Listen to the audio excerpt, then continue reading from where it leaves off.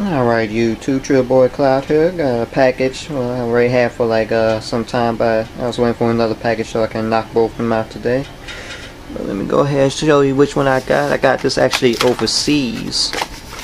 Believe it or not, I got for 99 cent shipping and for $18. And this Arcana Hearts 3 limited edition.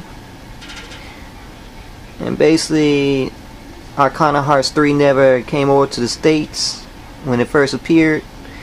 And we actually got it much later on as a download. And as the download online for PSN Network. Is I believe $29.99 I think still right now. And like I said overseas has some limited editions collector's editions that we don't get over here because the marketing the price is too high put on disc or you know certain aspects don't match over here in the States. Because if you look on ours compared to this we have ours for like $69.99 $200 while theirs is like around $49.99 to sometimes $29.99 even their um, HD collections are at $19.99 so you may want to think about maybe importing if you want to or not. But a little bit history of Arcana Hearts uh, first came out to the PlayStation 2 the first one. Didn't do so well so we never got part two. Like I said, part three we came over to other places. We never got into the states, and of course we bitched and moaned, and finally we got a download. But I prefer, like I said, disc-based. You know, I collect, so let me exactly show you what's inside. And basically, Arcana Hearts 3 is an all-girl fighter. Of course, I don't know exactly what type of fighter to place it in because I haven't uh, played it yet.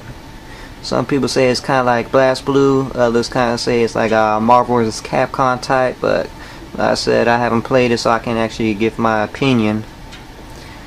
But basically, it comes with like little fighters cards for each of the characters. Quite a few in the.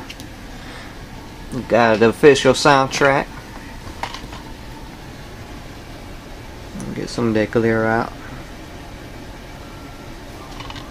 Back where they ain't got nothing. Sam got the standard disc.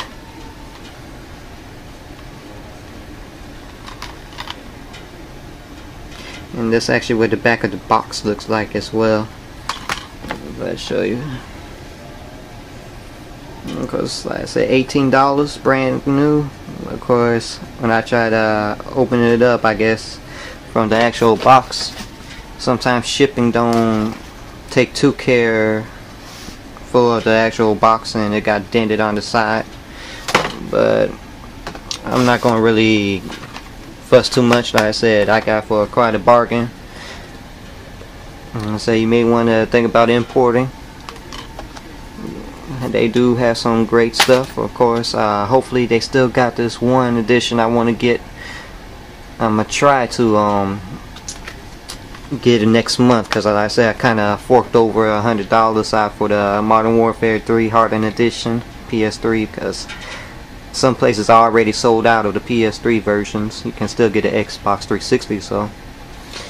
Mm, let me show you what the actual this is the actual Japanese guide and they actually included it in the UK version as well.